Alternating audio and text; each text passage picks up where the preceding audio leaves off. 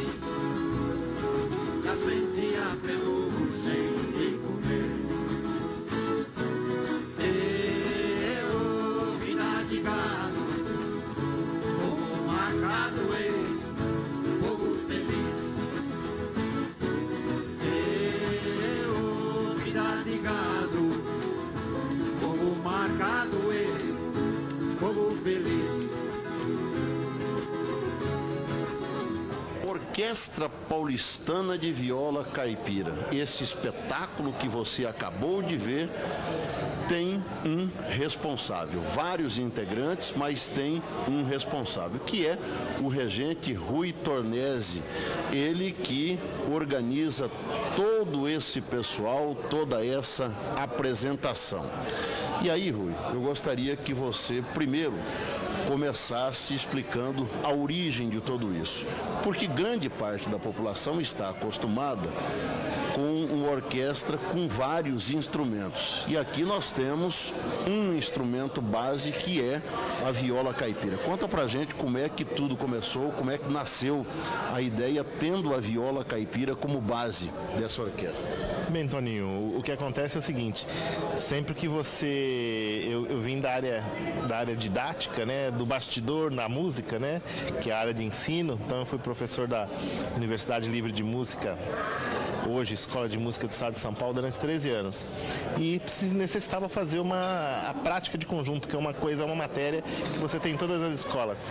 Aí o que aconteceu? Como a viola é um instrumento específico, tem um repertório específico, nós começamos a juntar o povo para tocar as músicas de viola e acabou saindo esse trabalho aí.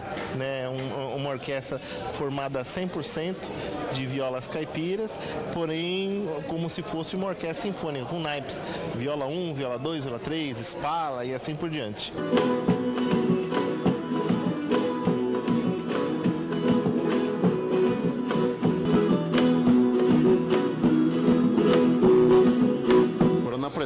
De Cuiabá, nós tivemos 30 integrantes. Na verdade, são 60, né? Exato. É, como é que se distribui as funções de tudo isso para termos essa harmonia perfeita? Então, o que acontece assim, a, a, a, toda a orquestra é formada por estudantes de viola, né? A maioria são músicos honorários, ou seja, pessoas que têm outras profissões, tem médico, dentista, delegado, é, pessoas aposentadas, estudantes, né?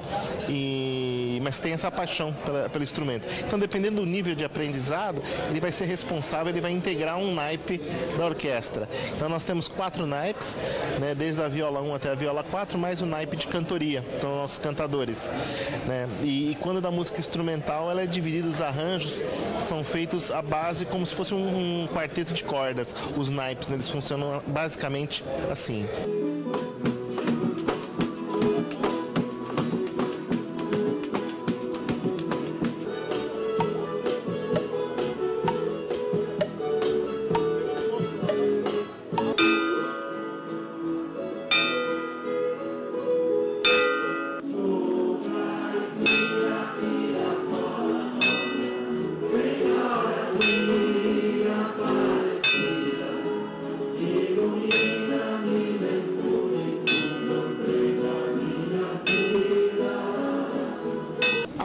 Base eh, dessa orquestra é uma organização não governamental, ou seja, não tem vínculo com uma instituição pública, mas tem um custo.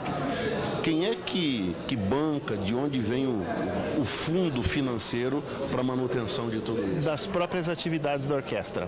Então, lá é uma associação, cada um paga uma pequena mensalidade que no final das contas do mês recebe muito mais do que paga, porque todas as atividades da orquestra são remuneradas. Os, todos os nossos músicos é, é autossustentável o negócio. Né? Então, como nós somos requisitados a, a, a apresentações em empresas, apresentações em eventos, todos os nossos eventos são cobrados e assim a gente consegue remunerar de forma adequada e muito bem os nossos músicos, né?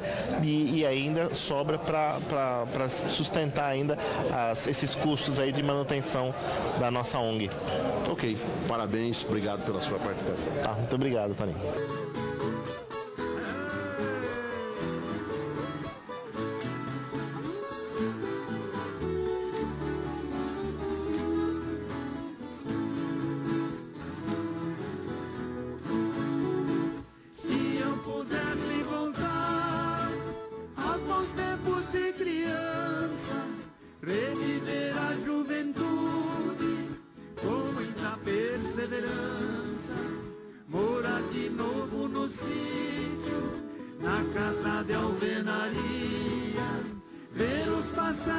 Jeitão de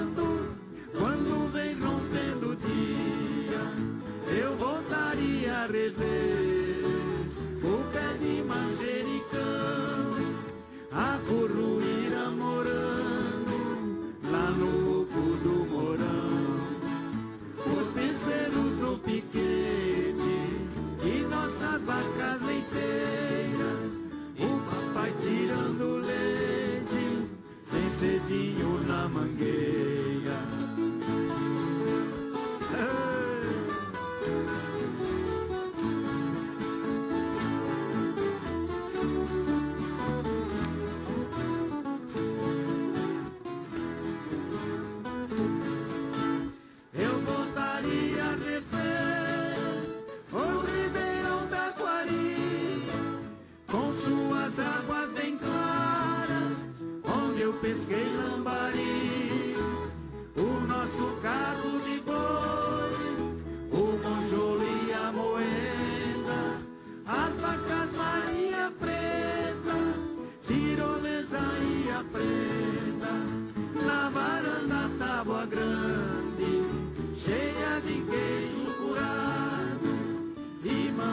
assando pão no forno de lenha ao lado.